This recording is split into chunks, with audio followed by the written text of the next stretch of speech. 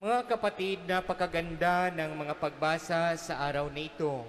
Ang unang pagbasa ay nagsasaad sa atin mula sa Aklat ng Karunungan na tayo ay minamahal ng Diyos at binibigyan ng pagkakataon na magbalik loob sa Kanya.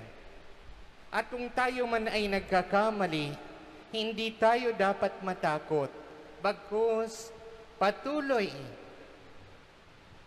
na sumalamin ang ating mga puso sa awa ng Diyos. Lahat naman po tayo nagkakamali. Lahat naman po tayo nagkakasala. Ang mahalaga ay ang pusong nais magbalik loob sa ating Panginoon. Narinig po natin sa Ebanghelyo kung papaano ni Jesus dinalaw ang isang makasalanan. Sa totoo lang, napakaganda ng disposisyon ni Sakeo. Alam niyang siya'y nagkakamali. Alam niyang siya'y maraming kasalanan. Pero pinagsumikapan niyang makita si Jesus. Sa buhay po natin, maraming beses tayo ay nawawalan ng lakas upang magdasal. Nahihiya tayo sa Diyos dahil akala natin hindi na tayo pakikinggan ng Diyos sa ating mga dasal dahil akala natin baliwala na tayo dahil sa bigat ng ating mga kasalanan. Pero hindi po ganyan ang Diyos. Ano ang sinabi sa unang pagbasa? Malun, malumanay niyang itinutuwid ang ating pagkakamali at ipinaaalala sa atin. Hindi naman tayo agad pinarurusahan ng Diyos. Hindi tayo sinisigawan ng Diyos. Tayo ay malumanay na tinatanggap ng Diyos. Kaya nga't hindi tayo dapat magdalawang isip na lumapit sa Kanyang awa at grasya. Ito po ang alalahanin natin. Ang hustisya ng Diyos ay iba sa hustisya ng tao. Ang hustisya ng tao, pag nagkasala, parusahan. Worse, patayin. Pero ang hustisya ng Diyos, pag nagkasala, patawarin. Mahirap unawain, pero ganito niya tayo kamahal. Kaya nga't sa ikalawang pagbasa sa sulat ni San Pablo, pinaalalahanan tayong patuloy daw po nating papurihan ang pangalan ng Panginoon sa ating mga sarili at sa ating paligid. Dahil ang Diyos ay patuloy na sumasa atin. Madalas sa buhay, nagtatanong tayo, e papaano natin, Father, itatama ang mali kung hindi pagagalitan? Mga magulang, kung nagkakamali ang inyong mga anak, hindi kinakailangan sila ay parusahan agad.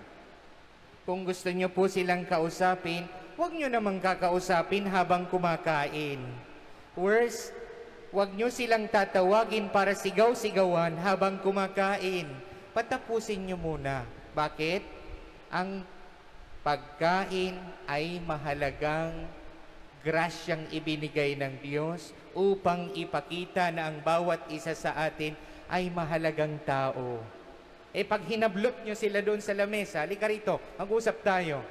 Nako, hindi niya maa-appreciate ang kahit anong kabutihan na nais mong ipaliwanag sa kanya. Dahil in the very first place, inalisan natin siya ng karapatan na kumain at damhin ang biyayang dapat sanay ipinagkaloob ng Diyos sa Kanya. Eh, Father, nakakainis. Yes. Pero hindi natin maituturo ang salitang respeto kung tayo rin mismo ay hindi natin sila inirerespeto.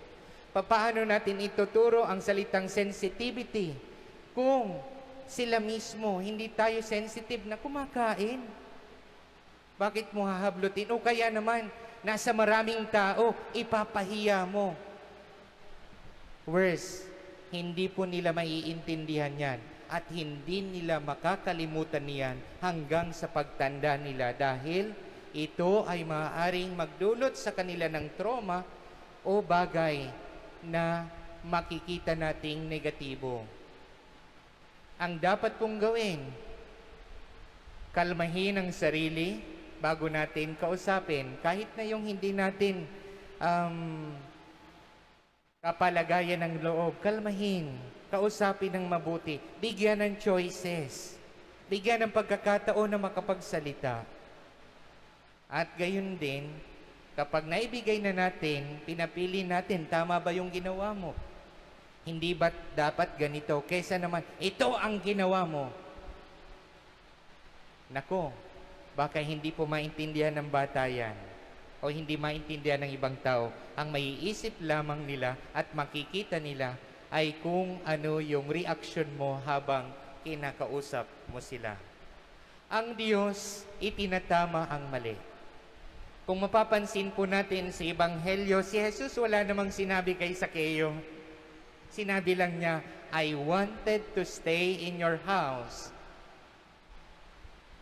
And I presume nakikain si Jesus doon. Kaya nga tinuligsa siya ng mga nakakita. Nakikituloy siya sa bahay ng makasalanan. Nang madama ni, Jesus, ni Sakeo na si Jesus o ang Diyos ay nasa tahanan niya at siya ay malugod na tinanggap sa gitna ng kanyang pagkakamali at pagiging makasalanan, nagsisi siya. Ano ang ipinangako niya?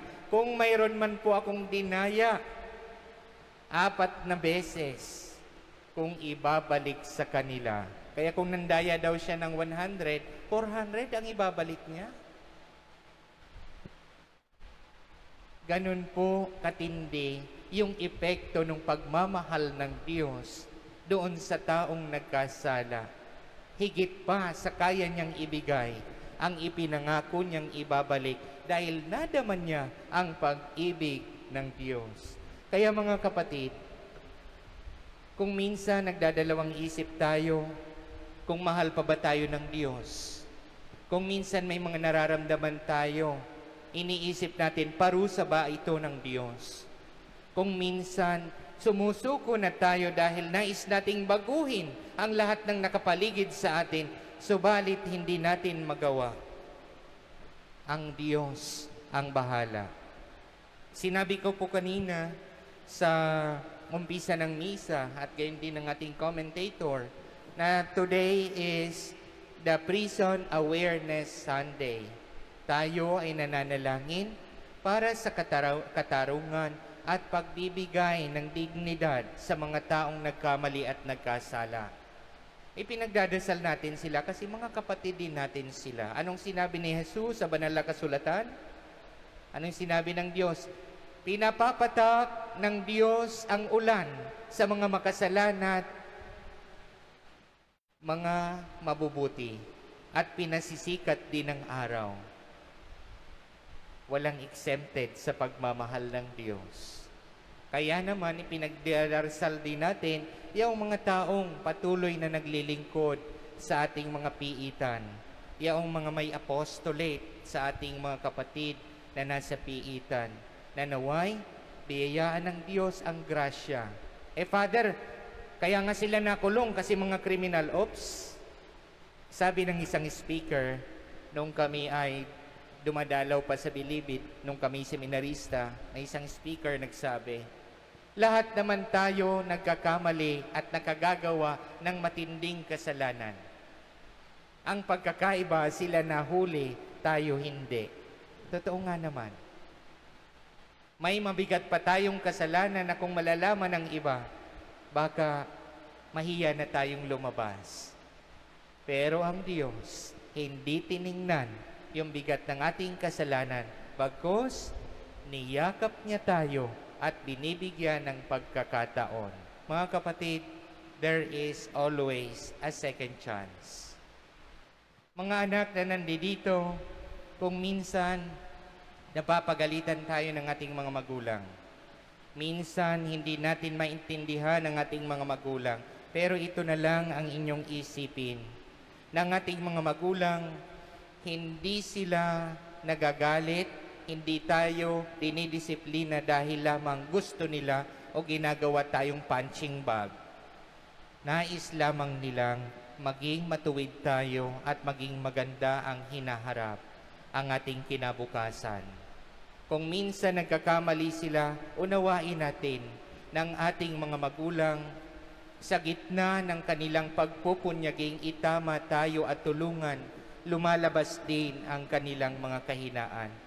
Kaya harinawa bilang tao, bilang mga anak ng Diyos, pasalamatan pa rin natin ang Diyos dahil patuloy siyang nagmamahal sa atin at hinding hindi tayo pinababayaang mapalayo sa Kanya.